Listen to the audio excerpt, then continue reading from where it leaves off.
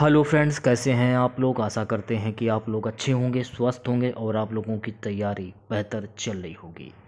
तो आज के इस वीडियो में जो आपका सीआरपीएफ पैरामेडिकल स्टाफ का एग्ज़ाम होने वाला है 31 मार्च से तो इस वाले वीडियो में हम लोग सीआरपीएफ पैरामेडिकल स्टाफ 2023 की परीक्षा के लिए जीके जीएस के टॉप मोस्ट इंपॉर्टेंट क्वेश्चंस को यहाँ पर डिस्कस करने वाले हैं। तो वीडियो काफ़ी इंपॉर्टेंट है आप लोगों के लिए तो इस वीडियो को पूरा ज़रूर देखिए। वीडियो अच्छा लगे तो प्लीज़ वीडियो को लाइक और शेयर ज़रूर करें। जो भी नए बच्चे हैं, जिन बच्चों ने चैनल को सब्सक्राइब नहीं किया तो प्लीज़ चैनल को सब्सक्राइब करके नोटिफिकेशन बेल ऑन करना ना भूलें।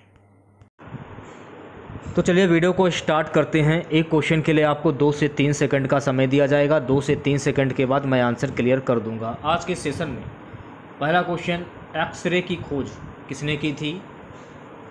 तो एक्सरे की खोज डब्ल्यू के रोटेंजन ने की थी तो सी ऑप्शन करेक्ट हो जाएगा। यहाँ पर आपको एक बात ध्यान में रखनी है कि वर्ष 1901 में भौतिकी का पहला नोबल पुरस्कार जो है वो रोटेंजन को दिया गया था। अगर पेपर में पूछा जाए कि प्रोटॉन की खोज किसने की थी तो आपको ध्यान रखना कि प्रोटॉन की खोज गोल्ड स्टीन ने की थी। अगला क्वेश्चन, प्राचीन सिक्कों पर बीड़ा बजाते हुए दिखाया गया हिंदू राजा कौन था? तो प्राचीन सिक्कों पर बीड़ा बजाते हुए दिखाया गया हिंदू राजा समुद्रगुप्त था। समुद्रगुप्त को भारत का नेपोलियन भी कहा जाता है। ये भी फैक्ट आपको ध्यान में रखना है। अगला क्वेश्चन देखेगा। किसने कहा था कि स्वराज्य मेरा जन्म सिद्ध अधिकार है और मैं इसे लेकर रहूँगा? ये कहा था बाल गंगाधर तिलक ने। तो बात आ गई है बाल गंगाधर तिलक की। तो आपको ध्यान में रखना है कि भारतीय अशांति का जनक भा बाल गंगाधर तिलक को कहा जाता है। भारतीय अशांति का जनक बाल गंगाधर तिलक को कहा जाता है। और होम रूल लीग की जो स्थापना है, वो भी बाल गंगाधर तिलक ने की थी। ये भी आपको ध्यान में रखना है। इनकलाब जिंदाबाद का नारा सबसे पहले किसने दिया था? भगत सिंह ने दिया था। ये भी आपको ध्यान में रखना है। दुश्मन की गोलियों का हम सामना करेंगे। ये नारा किसने दिया था? चंद्रशेखर आज़ाद ने। दिल्ली चलो का नारा सबसे पहले किसने दिया था? तो दिल्ली चलो का सबसे पहले नारा दिया था सुभाष चंद्र बोस ने। करो या मरो का नारा सबसे पहले किसने दिया था? महात्मा गांधी ने।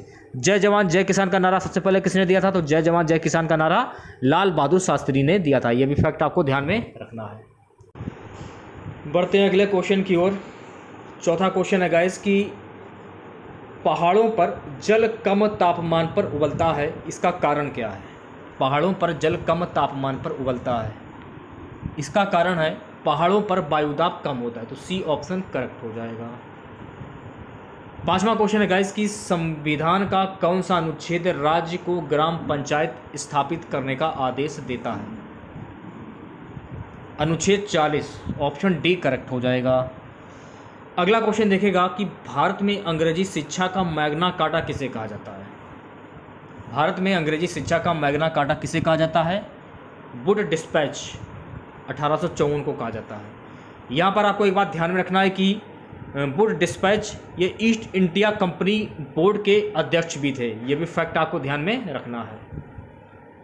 सातवां क्वेश्चन आपकी स्क्रीन पर यह रहा, विभाजन के कारण भारत का कौन सा उद्योग बुरी तरह प्रभावित हुआ? तो सही जवाब हो जाएगा, जूट तथा रोई उद्योग। सी ऑप्शन करेक्ट हो जाएगा। आठवां क्वेश्चन देखेगा महर्षि गौतम का संबंध किस दर्शन से है? महर्षि गौतम का संबंध किस दर्शन से है? सी ऑप्शन करेक्ट हो जाएगा। महर्षि गौतम का संबंध न्याय दर्शन से है। कुछ महत्वपूर्ण फैक्ट जान लीजिए। अगर पेपर में पूछा जाए कि सांख्य दर्शन का संबंध किससे है तो आपको ध्यान रखना है कि सांख्य दर्शन का संबंध संत कपिल से है। महर्षि पतंजलि का संबंध किससे है तो महर्षि पतंजलि का संबंध योग से है। संत गौतम का संबंध किससे है तो संत गौतम का संबंध न्याय से है। संत कणाद ऋषि का संबंध किससे है? तो संत कणा ऋषि का संबंध वैशिका से है। तो ये भी आपको ध्यान में रखना है। अगला क्वेश्चन तोरहा किस धार्मिक संप्रदाय की पवित्र पुस्तक है? तोरहा, सी ऑप्शन करेक्ट हो जाएगा यहूदियों की। दसवां क्वेश्चन प्रार्थना समाज की स्थापना किसकी प्रेरणा के फलस्वरूप हुई? Keshab Chandra Sen Debendra Nath Tagore, Gopal Hari Deshmukh Ishwar Chandra Vidyasagar. A option correct हो जाएगा केशव चंद्र सेन। हाँ अगर एग्ज़ाम में पूछा जाए कि प्रार्थना समाज की स्थापना कब हुई थी तो आपको ध्यान रखना कि प्रार्थना समाज की स्थापना वर्ष अठारह सौ सड़सठ में बम्बई में हुई थी। अगर एग्ज़ाम में पूछा जाए कि प्रार्थना समाज के संस्थापक कौन थे तो आपको ध्यान रखना है कि प्रार्थना समाज के संस्थापक थे आत्मारंग पांडुरंग। ये आपको ध्यान रखना है, अठारह सौ सड़सठ में आत्मारंग पांडुरंग ने प्रार्थना समाज की स्थापना की थी। अगर एग्ज़ाम में पूछा जाए कि ब्रह्म समाज की स्थापना किसने की थी तो आपको ध्यान में रखना है कि ब्रह्म समाज की स्थापना राजा राम मोहन राय ने की थी। वेद समाज की स्थापना किसने की थी तो वेद समाज की स्थापना केशव चंद्र सेन तथा के श्रीधरलू ने की थी। आर्य समाज की स्थापना दयानंद सरस्वती ने की थी। अगला क्वेश्चन पाल वंश का संस्थापक कौन था? तो पाल वंश का संस्थापक गोपाल था। यहाँ पर आपको एक बात ध्यान रखना है कि गोपाल का जो उत्तराधिकारी था, वो था धर्मपाल। ये भी फैक्ट आपको ध्यान में रखना है, क्योंकि पेपर में कुछ भी पूछा जा सकता है तो सारे फैक्ट आपको अच्छी तरीके से याद कर लेने हैं। अगला क्वेश्चन देखेगा वर्ष 1815 ईस्वी में निम्नलिखित में से किसने कलकत्ता में आत्मीय सभा की स्थापना की? तो सही जवाब हो जाएगा ऑप्शन वी राम मोहन राय। अब बात आ गई है राजा राम मोहन राय की। तो राम मोहन राय जो हैं, इन्हें आधुनिक भारत का जनक कहा जाता है। भारतीय पुनर्जागरण के जनक और अतीत और भविष्य के बीच का पुल भी इन्हें कहा जाता है। ये भी फैक्ट आपको ध्यान में रखना है। अगला क्वेश्चन देखिएगा। चौरी चौरा कांड के बाद गांधी जी ने स्थगित कर दिया। चौरी चौरा कांड के बाद गांधी जी ने स्थगित कर दिया असहयोग आंदोलन। तो ऑप्शन सी करेक्ट हो जाएगा।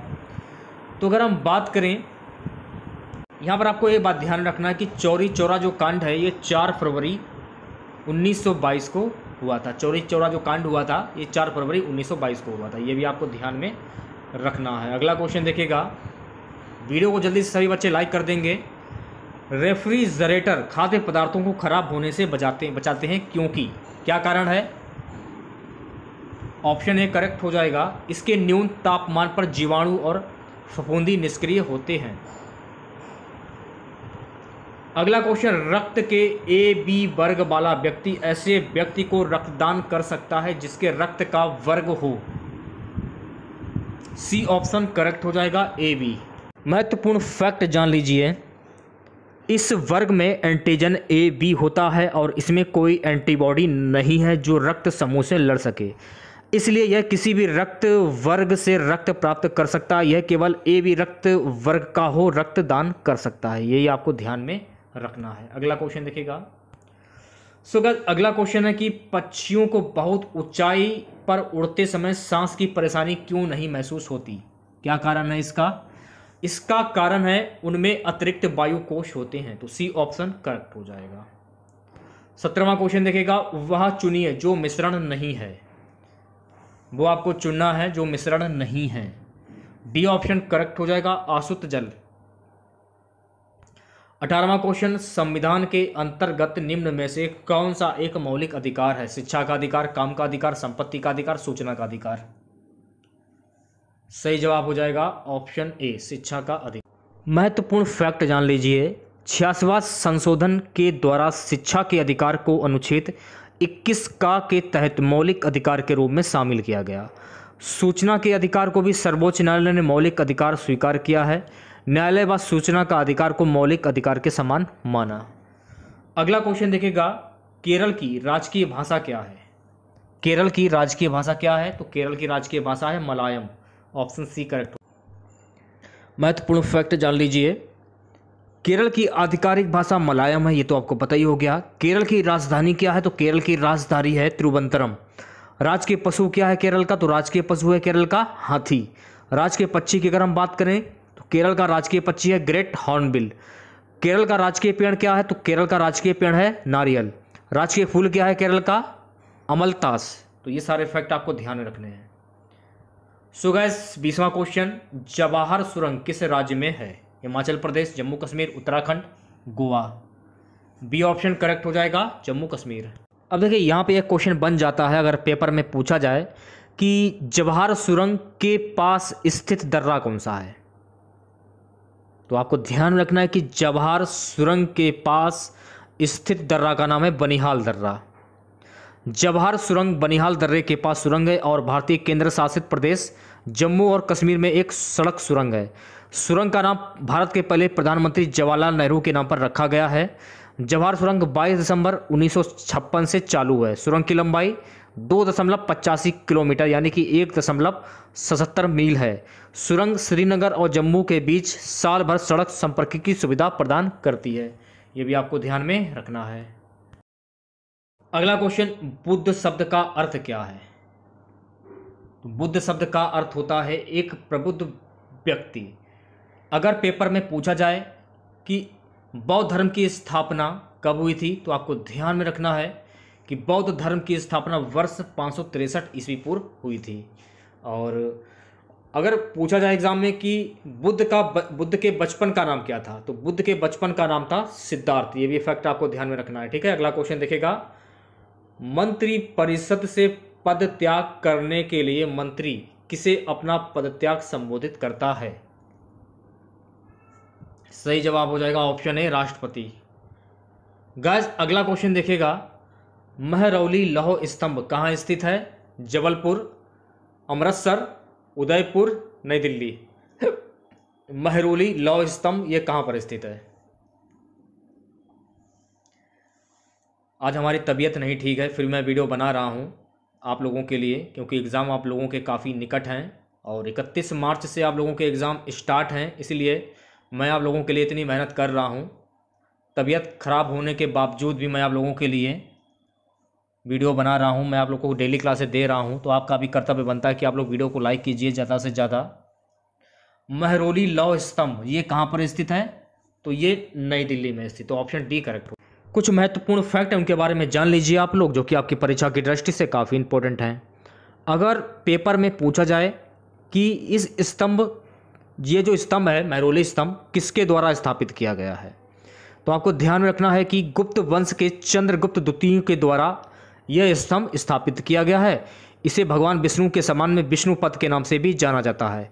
यह स्तंभ अपने निर्माण में प्रयुक्त धातुओं की जंग प्रतिरोधी संरचना के लिए प्रसिद्ध है। यह भी आपको ध्यान में रखना है। अगला क्वेश्चन विश्व प्रसिद्ध दांत का मंदिर, यह कहाँ पर स्थित है? तो सही जवाब हो जाएगा कैंडी। कैंडी जो है ये श्रीलंका में है। यह आपको ध्यान में रखना है। महत्वपूर्ण फैक्ट जान लीजिए, विश्व प्रसिद्ध दांत का मंदिर श्रीलंका में स्थित है। श्री दालदा मालिगोबा व पवित्र टूथ रेलिक मंदिर। श्रीलंका के कैंडी में स्थित एक बौद्ध मंदिर है। यह मंदिर पूर्व कैंडी राज्य के शाही महल परिसर में स्थित है, जो बुद्ध का स्मृति शेष स्थल है। कैंडी श्रीलंकाई राजाओं की अंतिम राजधानी थी। यह मुख्यतः मंदिरों के कारण विश्व विरासत स्थल भी है। यह भी आपको ध्यान में रखना है। अगला क्वेश्चन देखेगा गोल क्रांति का संबंध किससे है? सो गैस गोल क्रांति का संबंध जो है, ये आलू उत्पादन से है। महत्वपूर्ण फैक्ट जान लीजिए। रजत फाइबर क्रांति का संबंध किससे है? तो रजत फाइबर क्रांति का संबंध कपास से है। रजत क्रांति का संबंध किससे है? अंडा से है। देखिए, एक है रजत क्रांति और एक है रजत फाइबर क्रांति। तो रजत फाइबर क्रांति कपास और रजत क्रांति अंडा।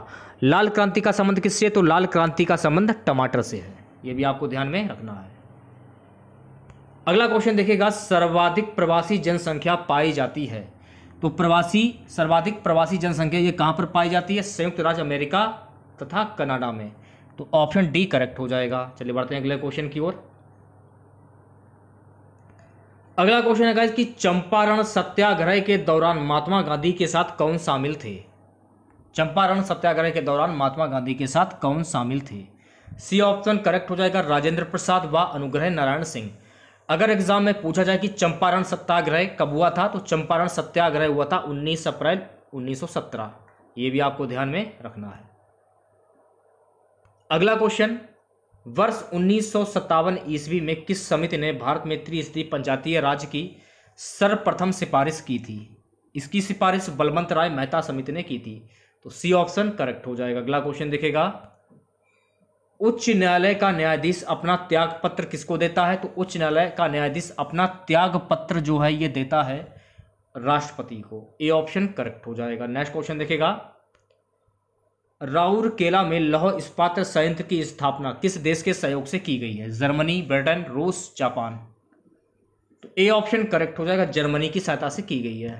महत्वपूर्ण फैक्ट जान लीजिए। अगर एग्ज़ाम में पूछा जाए कि हैवी इंजीनियरिंग कॉरपोरेशन जो है ये किस देश के सहयोग से की गई है? तो आपको ध्यान में रखना है चेकोस्लोविया दुर्गापुर स्टील प्लांट किस देश के सहयोग से की गई है? ब्रिटेन के सहयोग से की गई है। भिलाई इस्पात कारखाना किस देश के सहयोग से की गई है? सोवियत रूस। बोकारो इस्पात कारखाना। तो बोकारो इस्पात कारखाना की जो स्थापना किस देश के सहयोग से की गई है? सोवियत रूस। तो ये सारे फैक्ट आपको ध्यान में रखने हैं। तो यहाँ पर बात आ रही है राउड केला की। तो देखिए राउड केला इस्पात कारखाना उन्नीस सौ उनसठ में पश्चिम जर्मनी के सहयोग से उड़ीसा के सुंदरगढ़ ज़िले में स्थापित किया गया है। ये आपको ध्यान में रखना है। राउरकेला इस्पात कारखाना ब्राह्मणी नदी के किनारे बनाया गया है। ये भी फैक्ट आपको ध्यान रखना है। पारादीप बंदरगाह राउरकेला इस्पात कारखाने के सबसे नज़दीक है। ये भी फैक्ट आपको ध्यान में रखना है। अगला क्वेश्चन देखिएगा गाइस क्या है? अगला क्वेश्चन है कि भारतीय संविधान के किस भाग में अल्पसंख्यकों के लिए विशेष प्रावधान किया गया है। बी ऑप्शन करेक्ट हो जाएगा, भाग थर्ड सो गाइस बत्तीसवां क्वेश्चन विधान परिषद के कितने सदस्य राज्य के राज्यपाल द्वारा मनोनीत किए जाते हैं? सी ऑप्शन करेक्ट हो जाएगा, एक बटा छह। अगला क्वेश्चन भक्ति को दार्शनिक आधार प्रदान करने वाले प्रथम आचार्य कौन थे? ए ऑप्शन करेक्ट हो जाएगा, रामानुज। अगला क्वेश्चन देखिएगा। स्वराज पार्टी की स्थापना किस वर्ष में की गई थी? स्वराज पार्टी की स्थापना वर्ष 1923 में की गई थी।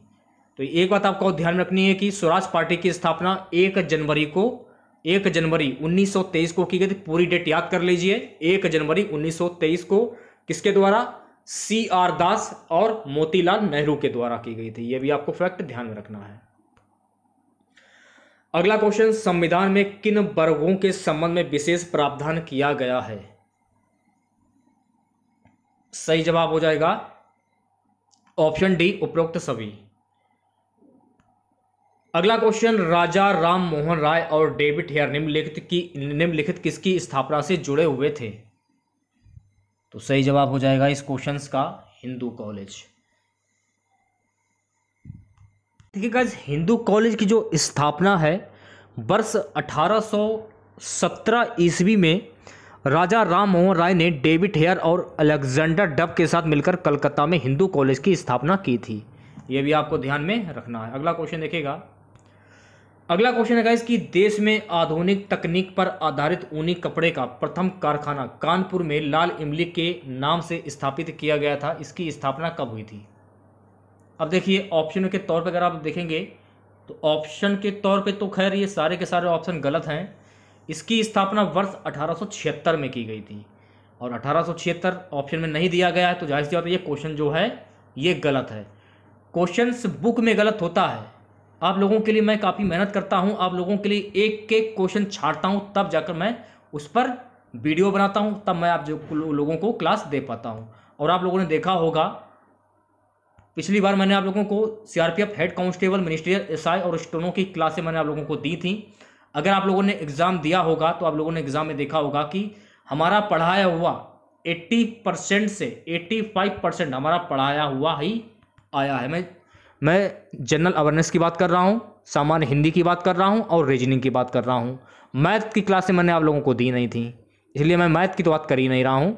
और जो भी मैंने आप लोगों को पढ़ाया है, वही पेपर में आया था। अगला क्वेश्चन बुशमैन बद्दू आदि जनजातियाँ किस प्राकृतिक प्रदेश में पाए जाते हैं? बी ऑप्शन करेक्ट हो जाएगा, उष्ण मरुस्थल।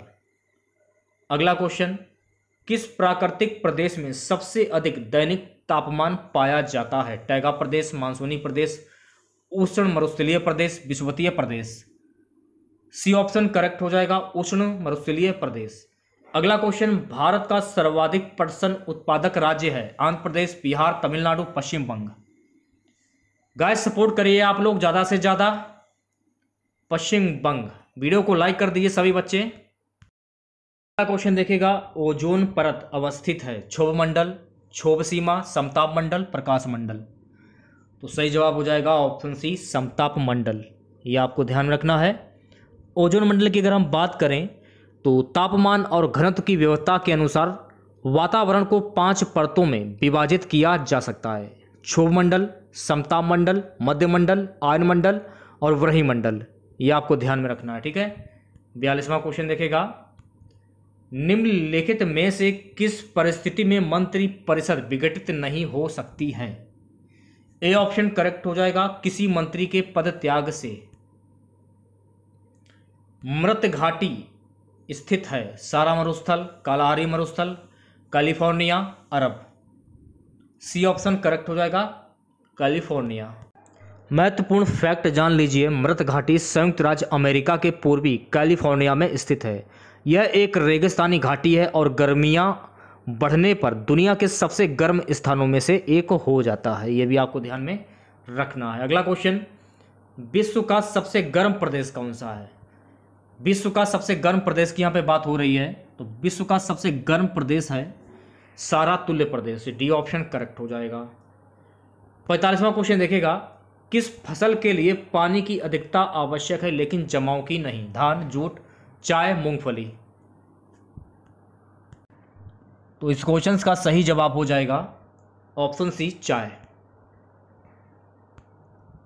टीपू सुल्तान की राजधानी थी श्रीरंगपट्टनम, मैसूर, बेंगलोर, भाग्यनगर। तो सही जवाब हो जाएगा ऑप्शन ए, टीपू सुल्तान की राजधानी थी श्रीरंगपट्टनम। महत्वपूर्ण फैक्ट जान लीजिए, टीपू सुल्तान की राजधानी श्रीरंगपट्टनम थी।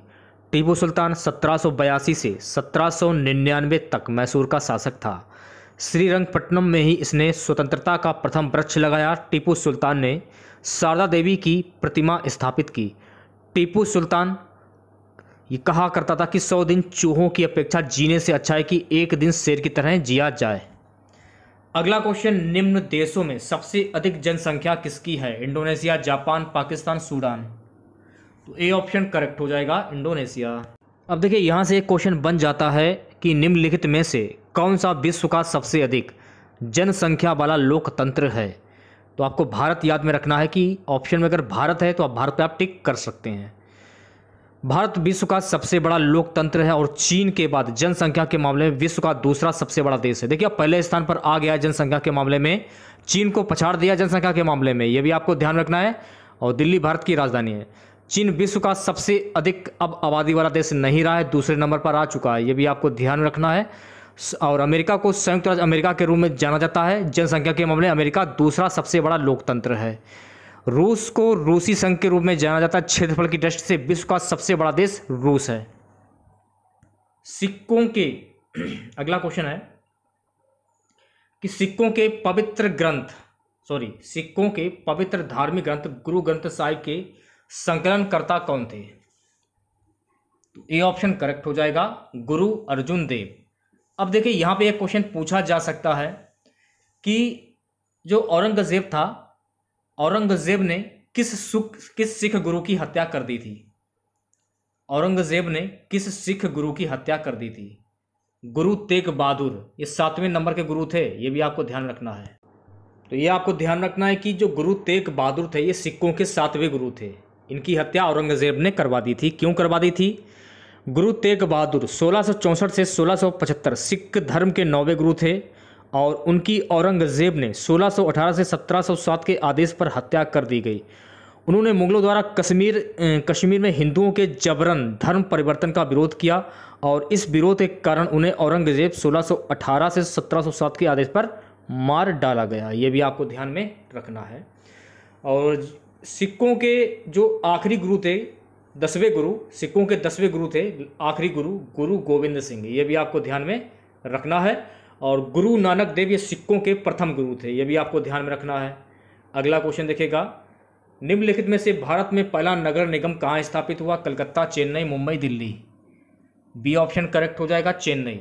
आज का हमारा सबसे लास्ट क्वेश्चन रहेगा, भारत में पंचायती राज प्रणाली का शुभारंभ कब और कहाँ हुआ? बी ऑप्शन करेक्ट हो जाएगा, दो अक्टूबर उन्नीस सौ उनसठ, नागौर।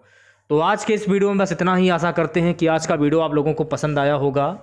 वीडियो अच्छा लगे तो प्लीज़ वीडियो को लाइक और शेयर ज़रूर करें। जो भी नए बच्चे हैं, जिन बच्चों ने चैनल को सब्सक्राइब नहीं किया है तो सभी बच्चे चैनल को सब्सक्राइब करके नोटिफिकेशन बेल ऑन करना ना भूलें। तो मिलते हैं नेक्स्ट वीडियो के साथ। जय हिंद, जय भारत।